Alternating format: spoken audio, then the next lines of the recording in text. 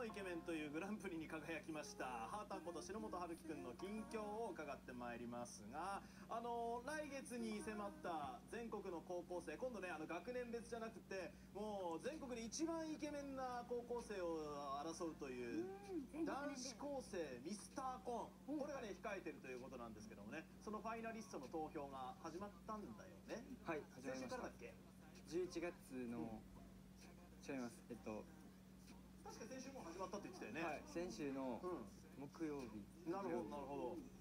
のもうとにかくもう始まってるってことです皆さん、はいでねあの5時からをご覧の皆さんもですねぜひぜひですねこのあのハータに投票したいという方がいると思うんですが何でもですねこのスマホ一つで投票できるそうで LINE を何使うんでしたっけ？ちょっとおじちゃんに教えて。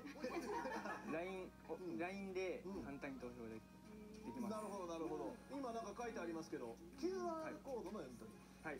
なるほど。これをすると一発っていうことこっちですあこの QR コードです。ね、はい。これを読み取れば。読み取っていただいて。うんでん。でこの後は、はい。あジョブドラフトジョブドラフトといううん。公式 LINE アカウントが出てくるので、はいはいはいそこを友達追加してもらって、はいはいはい。なるほどなるほど。これを追加するとおおなんか今イケメンと美女の顔が出てきましたけど。トップページを開いて、うんえっと、今矢印の先にある投票ページがあるんですけど、はい。はいそこをタップしてもらってうん篠本春樹をはい。投票していただきたい。で すそれを必ず押さなきゃいけないんだっけ？はい。なるほどね。ないですから。確か来月19日まででしたっけ？はい。なるほどなるほど。まあそうなりますとあのーこれからまだ随分チャンスがあるんですけど1日1回 OK なんですよね。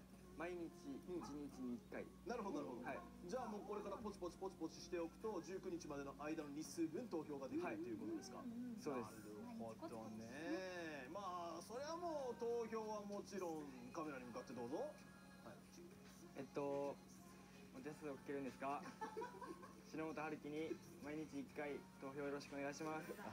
できた子だねあなたは本当にね。16歳ですからねねよ。